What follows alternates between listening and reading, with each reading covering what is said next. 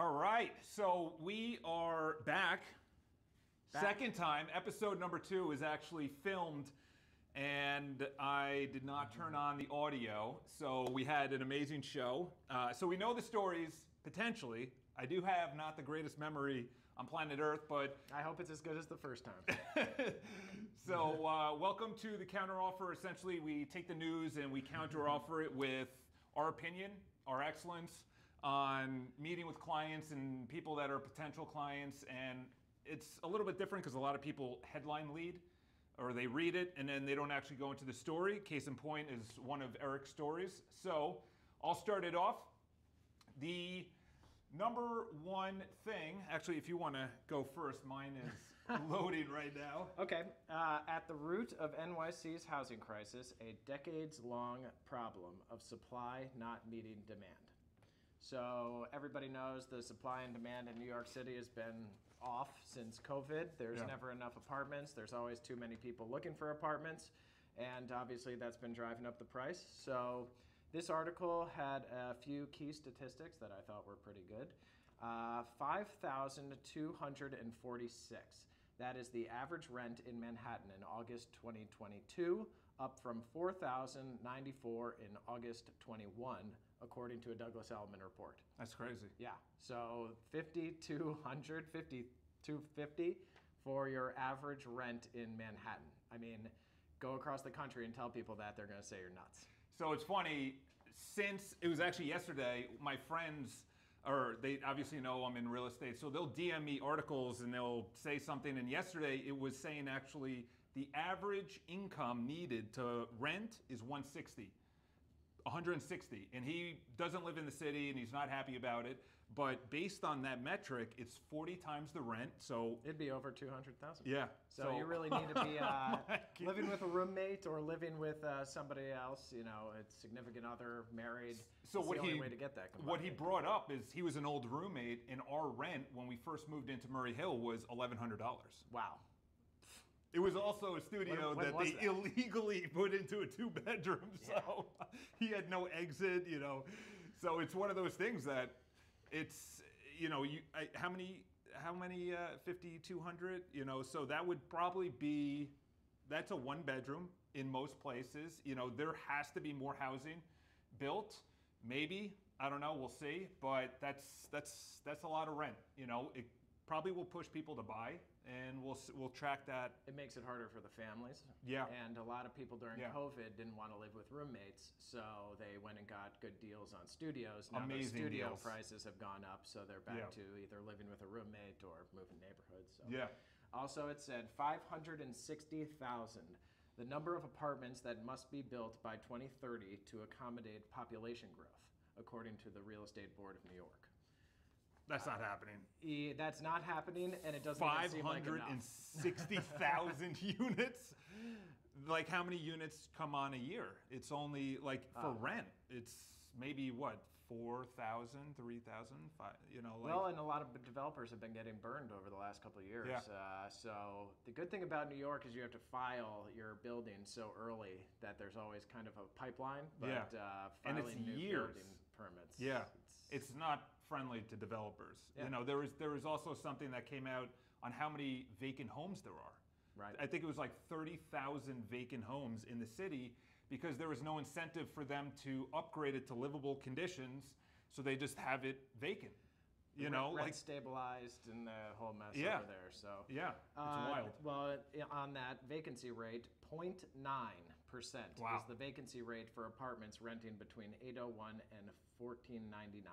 Yeah. So I don't know where you can find apartments like that, but there is record low vacancy rate all across the city, Yeah. and uh, anybody is just re-signing their lease. They get their lease renewal. They say, "I don't want to move. I just got here." Yep. Re-sign. It makes the uh, vacancy rate so low. And what we talked about last time is that management companies' benchmark is 1% vacancy. So if it's above 1%, then they're more willing to work with tenants when it comes to lease renewals or rents.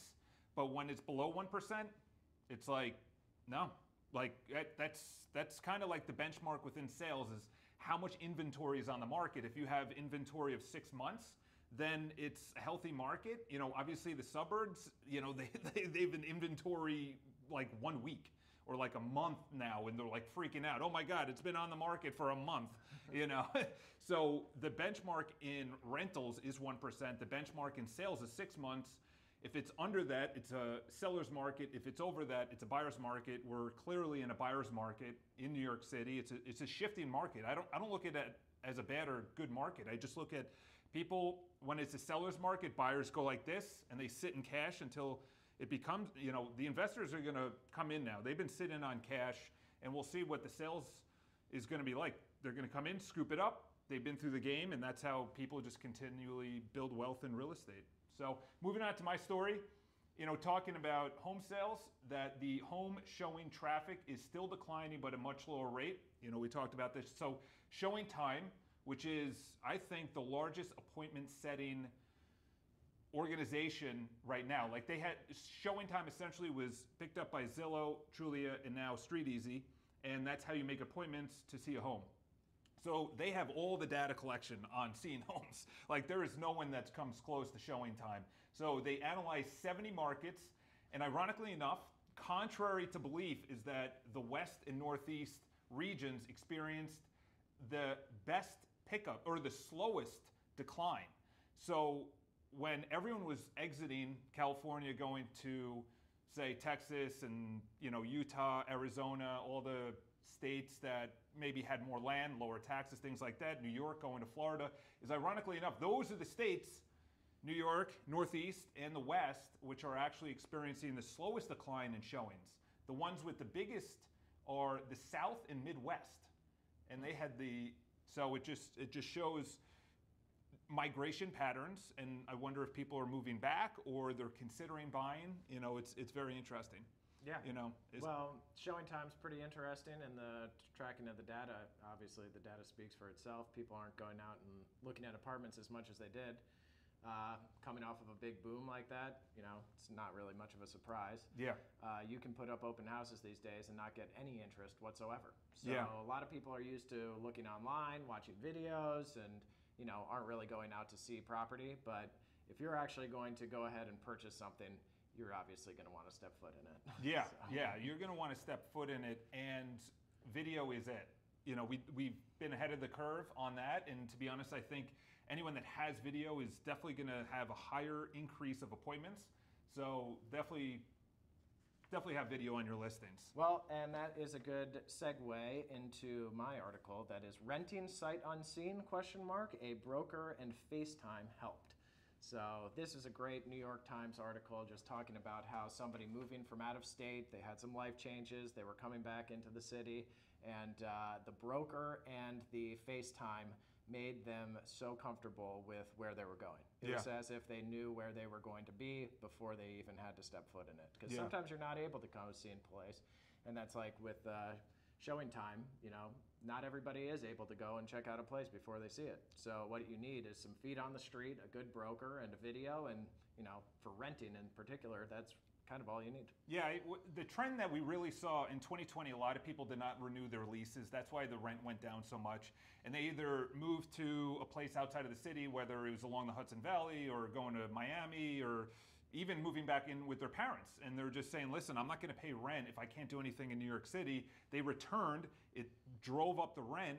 And ironically enough, is that the people that were returning to the city were all coming from a place they, like you said, they were remote. They they were in the Hudson Valley and they weren't going to just come down for one apartment showing. So video on a rental is crucial. And you know, Eric's rented almost 200 properties. So if if, if you know, it's, it's it's a lot easier when it's on fire, but it definitely helps that get the highest price, the most qualified, the most people, rent it as quick as possible. Well, it's actually uh, brings up something I've been talking about all week. Is that you know over the last couple of years it became very transactional. Sometimes you'd even rent an apartment, you'd never even meet the person face to face. Yeah. So these last couple of months, you know, especially working with buyers, there is a much more like opportunity for a client relationship. Yeah. You actually have like a lot of interaction with them as opposed to the years past where you're just uh, kind of deals were flying off the shelf. Yeah, yeah, absolutely.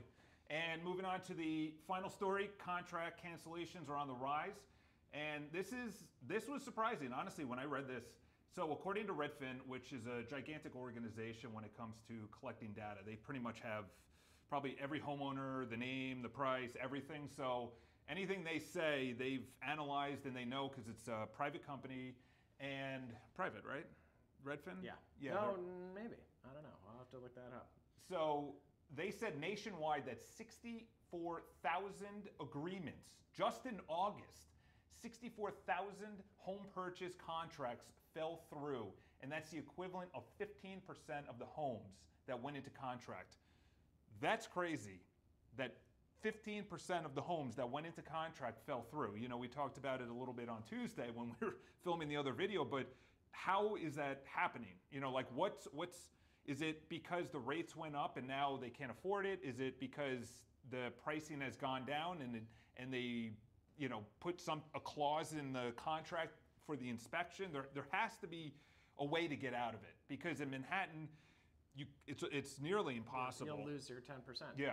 But that we were talking about at the other video was uh, mortgage contingencies, Yep. appraisal contingencies. Appraisal Yeah, contingencies. because that is going to make it so, you know, as the home prices are coming down, are the banks still seeing the value Yep. that they did over the last couple of years? I mean, it's pretty hard to imagine an apartment that was sold in the last two years being more expensive than it is now. yeah. So is it going to appraise? Uh, that's why cash is always king in that sense. But I did think about one more uh, idea, and that is uh, contingent on selling your home.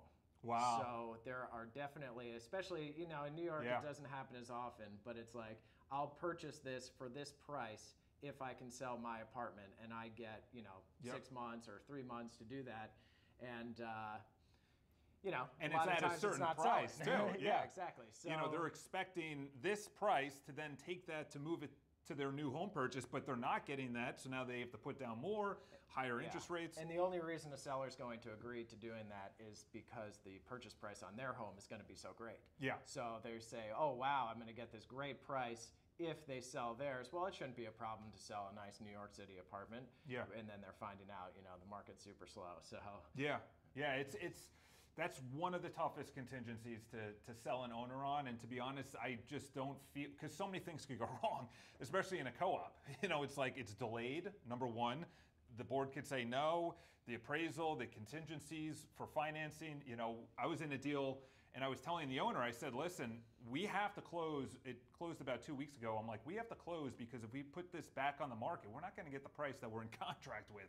So we were pushing everything forward. We were doing whatever we could. We were paying for closing fees. We were close, uh, paying for uh, the rate lock extension, which was a few hundred dollars per week that it didn't close. The owners were like, "Listen, it's worth it because if we put it on, it's twenty to thirty thousand dollars less." So this, you know, we'll just conclude on this is you need to hire a professional based on these statistics that are actually going through understanding the market and telling you the actual story, not the headline. Because the headline says home traffic is declining. Then the other headline is contract cancellations are on the rise. But if you don't have a broker that doesn't know how to analyze it and actually say this is what it means, then it's going to be a tough time and probably frustrating time. Yeah. You know that that you go through it. well, if you ever want to get out of a contract, it would be best to be working with a broker. Yeah, and a good mean, you attorney. Put that on Yeah. them. So, uh, Yeah, you're not going to Zoom, you know, attorneyzoom.com to draw that purchase application. Yeah, I mean, you know. pre-COVID, there was a lot of people that would go out on their own, or they'd rent apartments on their own, and this and that. I thought that kind of changed. I'm seeing it come back a little bit after COVID, but it is such a difficult business right now, and with all the random experiences, getting out of a contract, this and that, showing uh, showings The are right down. You price. know, it's like you really have to work with somebody who knows what they're doing. Yeah. So we go live, or actually, no, we record every Tuesday. Obviously, this Tuesday, I messed up with the audio. Never going to happen again. We have Yeah, we're sure visualization that. there's recording levels going on. So we're going to be going uh, two stories every single Tuesday. Eric doesn't know what I'm going to say. He doesn't know what I'm going to bring in, and then we kind of banter back and forth. And it's always stories that are important. We're not going to talk about, you know, silly stories that you know don't really affect the purchase or the sale of the home. do that. yeah. What the the silly stories? All right, so we'll see you uh, next Tuesday, and until then, Signing off.